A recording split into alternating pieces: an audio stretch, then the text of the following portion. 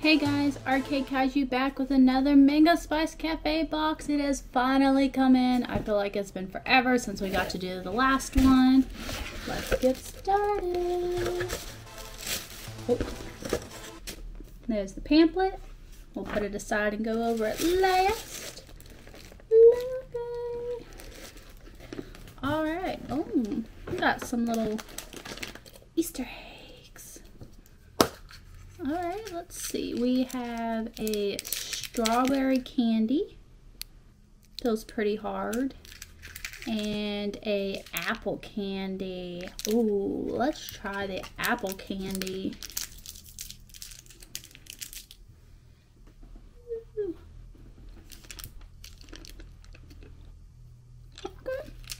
It definitely tastes like I've just bitten into an apple. That was really good. And once again, I've eaten a hard candy before eating everything. Alright. Let's put that aside for a bit. Looks like we had a another egg. This one has a peach Kit Kat.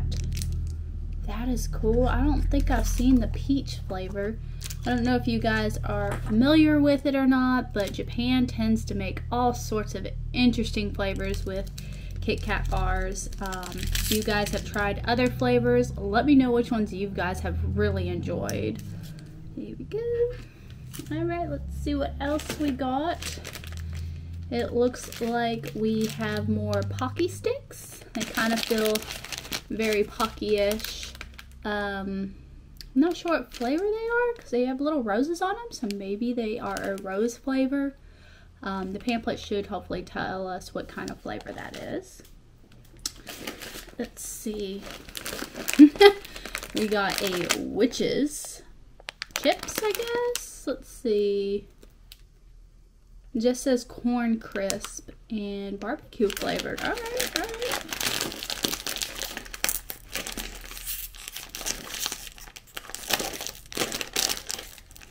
Aha! Little, little cheesy poofs. Hmm. I feel like the backlight a little bit because I don't taste barbecue.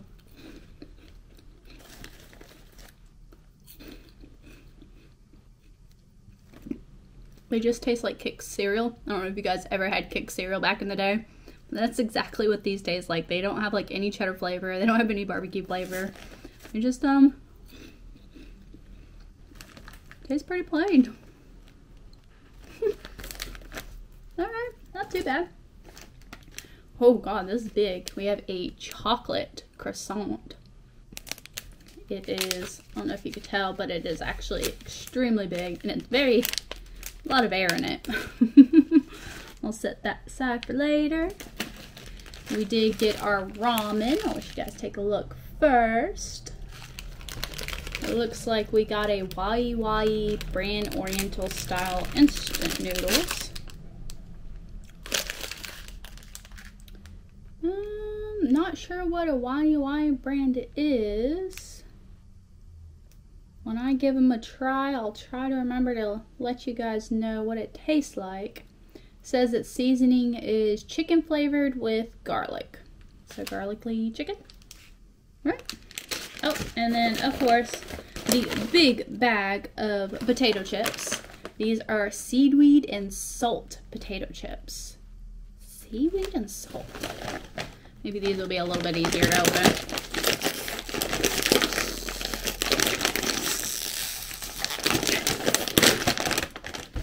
Whew, they have proofed them. Mm. So,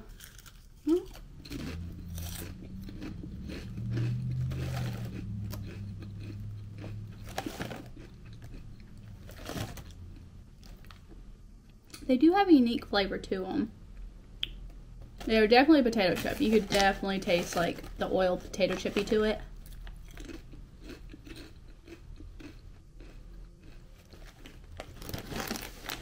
I don't know.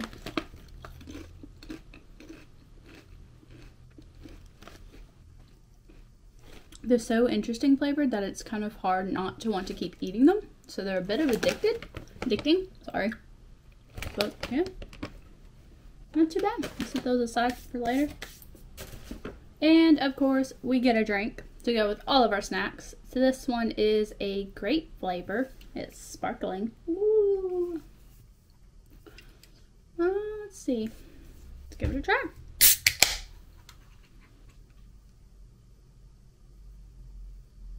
Definitely smells like grape.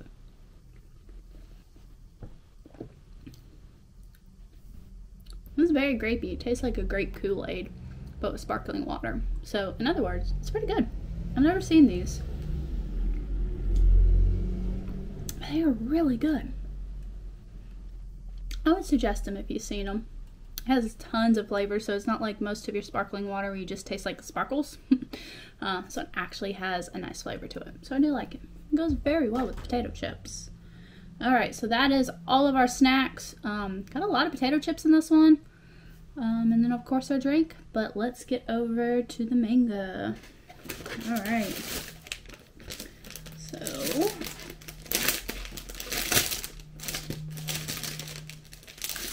she did wrap them separately, um, so there's two more in there. We'll go over them in one moment. Um, so if you're new to the box, she always gives us first issue mangas. She tells us what one of them is, and then the other two are just a mystery. Um, so this one is Tista from the creator of Spy and Family. In New York City, the NYPD struggles to track down a serial killer known as the Sister Matilia, who has been targeting mobsters and other criminals in the Big Apple. No one knows who Sister Matilia really is except for a few residents of a Catholic orphanage, and her name is Tista. Ooh. She looks pretty bad, eh? Hmm. It looks cute. Let's show you some of the artwork. I do like Spy and Family, so I'm excited to give this a try. Uh, if you already read it and you like it, let me know. Alright, let's see what the other two were.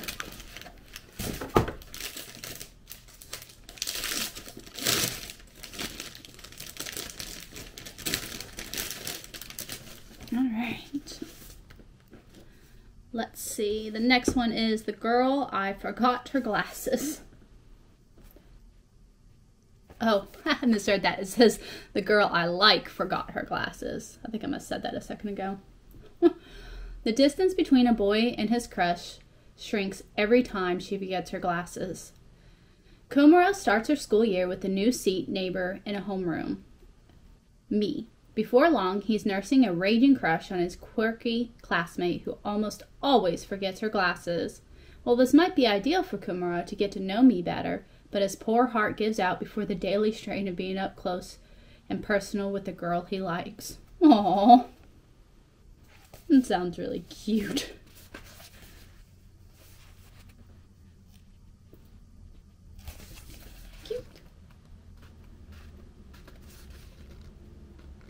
Another brand new one that I am not familiar with, but it does sound really cute.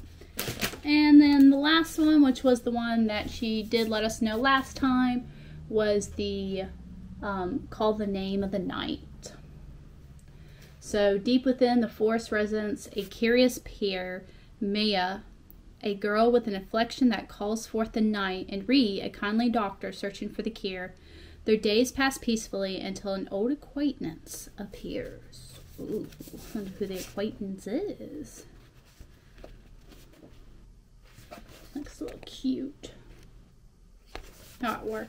I just love manga artwork. Alright, that is our three mangas, all first issues. Let's take a look at the cute little pamphlet. Oh, All right. Let you guys take a look first. Um, so she introduces like each of the authors of the mangas and kind of goes into a little bit more detail. Um, so for the the girl I like forgot her glasses. They're already out in volume three, um, which releases May 16th.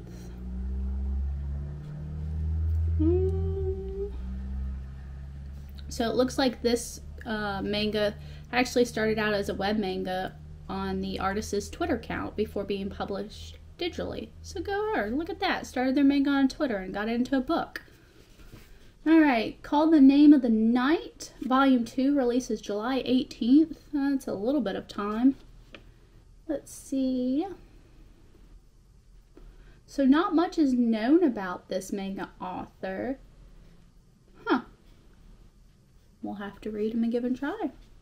And the last one, Tista Volume 2, be released July 4th. And let's see. Okay, the artist used to work as an assistant on Blue Exorcist and Fire Punch. That's pretty good. Those both are really good uh, mangas and animes if you haven't seen them. And then the back of the pamphlet, um, normally she stars the main manga artist and kind of gives a little bit extra about them.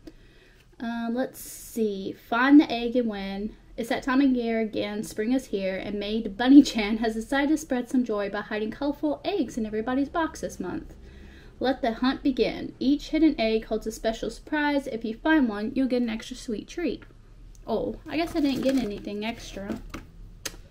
Keep an eye out for a golden egg. Whoever finds could win one, two, or three months of Manga Spice Cafes. Oh, lucky ducky, do ever got that one. I didn't get a golden egg. Alright. Um, so the little puffs that we tried claim that they are cheese flavored. Uh, disagree. They did not taste like cheese. They just taste like regular. If I ever saw them, I probably wouldn't pick them up. They didn't really have much flavor. Uh, Chupa Chups soft drink. Um. Mmm. It turns out um, everybody got a different flavor. So if you also got this box and got a different flavor than me, let me know what flavor you guys got and what you liked. And so it looks like these are called Pejoy, and it's a Tasty alternative Pocky made by Glico and has tube-shaped biscuits filled with cream, earning the nickname Reverse Pocky. Ooh, this one is a raspberry filled inside a fragrant of a rose flavored biscuit. All right, now you have like piqued my interest and we're gonna have to give it a try. A reverse Pocky. So if you're unfamiliar with Pocky, they look exactly like the stick except for like the ends are dipped in some like sort of icing or something. Um, and they're really good.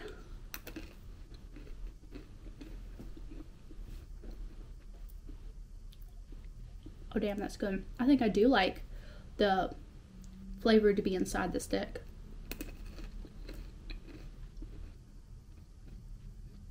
This one's really intriguing. So this is a raspberry with a rose flavored biscuit. So you could definitely smell the rose and you can bite into the rose and then as you're chewing you get hit with the raspberry flavor. So I'm definitely a big fan of these. If flour taste isn't for you, you probably won't like this new brand. Um, but if they are, I highly suggest give it a try because they won me over. Is really good. So they're called Pejoys.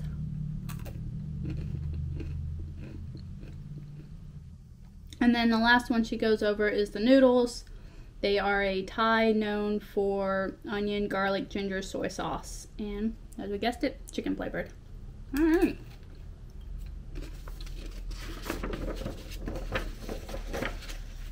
that is everything. We have our snacks, we have our manga. All that's left is to show you next month's one of their manga. Um, thank you for tuning in to Arcade Kaiju. I'll see you guys again next time. Alright, spoiler for next box. You guys ready?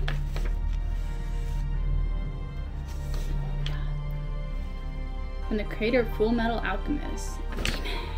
I'm excited. Bye!